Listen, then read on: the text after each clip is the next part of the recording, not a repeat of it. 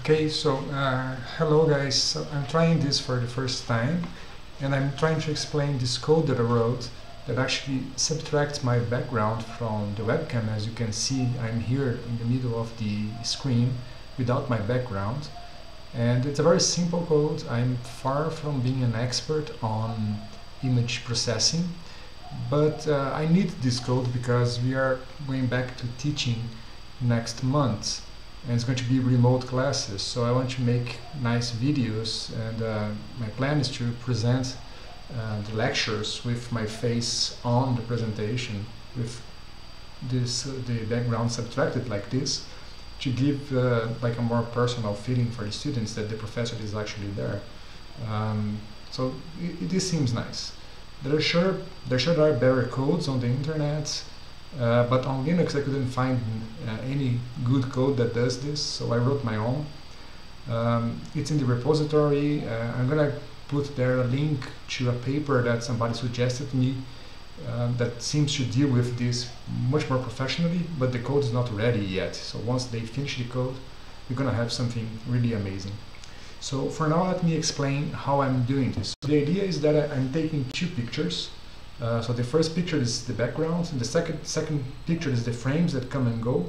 And I compare both pictures. Basically, I subtract the initial frame, the background picture, from the current frame, and then applying some filters to eliminate noise, I managed to, to, to do what you can see there. Um, so basically, uh, here's the idea. I'm gonna zoom in to the code here. So there are some parameters here that you have to choose. Um, I'm not going to go through all the details.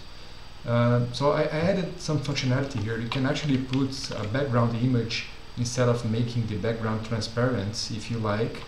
For my purposes I want it to be transparent, but uh, I, am keeping it here in case you want to try it. So basically I set up the camera parameters and this is a nice trick that I'm not sure if it is really efficient there, there might be better ways to do this.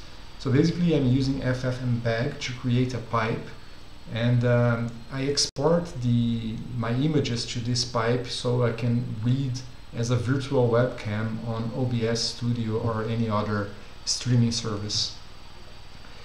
Um, here are some parameters that I use to create a Gaussian kernel to blur the edges to make it a little bit better than the, the, the very uh, sharp edges that I get if I don't apply this Gaussian filter. So here, in the first, uh, once the code starts, it actually reads the initial frame, whatever is in the front of the camera, to use as a background. You can change this later while the code is running, but if you leave the camera uh, viewpoint before starting the code, it will already start with a nice background.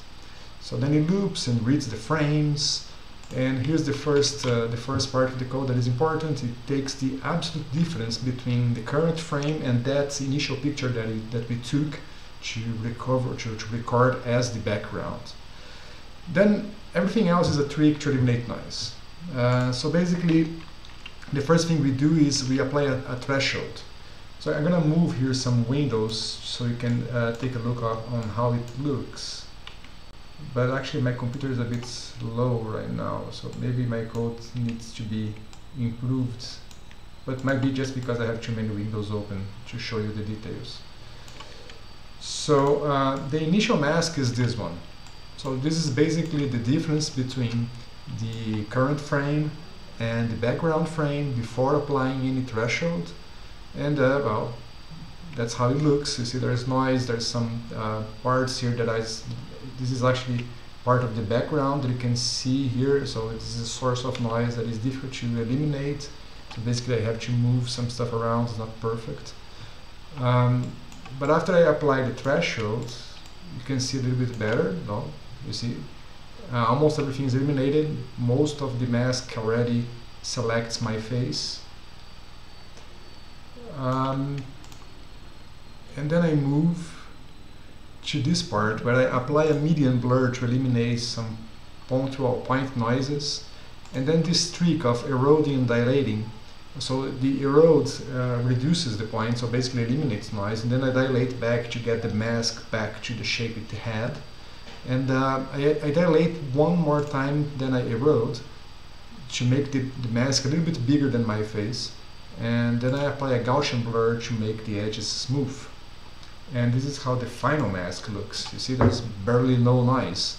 Um, all the noise that I cannot eliminate is basically because my background is really not perfect. If I eliminate some stuff from the background, things will get much better. And the final image, so here, here I, I, I apply the mask and I apply the chroma key or the background image if I want. And the final, final image looks like this. So this is how the, the, the final uh, uh, final part of the code works. So here I'm choosing to apply the fake chroma key with the green screen in the back. And then I use OBS Studio to get my picture here without the background by, by um, eliminating the green zone, the green area. And that's it. It's a very simple code, but it works fine. As you can see, it's uh, quite useful. And better codes are coming ahead. Things that we can do to improve this is actually to do this more professionally. I'm not an expert on this uh, image processing. So if you do this in C, make a library, um, make a better code to, it, to make it more efficient, should work fine. And as I said, uh, I, I, was discussing this code in a forum and uh, somebody suggested me a paper that is going to be published this year on image processing for background removal and their video seems amazing. So once their code is ready, it's on part of the code is already on GitHub, but once it's fully ready, uh, it's going to be a nice open source code to, to do this more professionally and we're going to get something that I expect to be quite nice. Okay, thank everybody. Uh, I hope you enjoyed the code.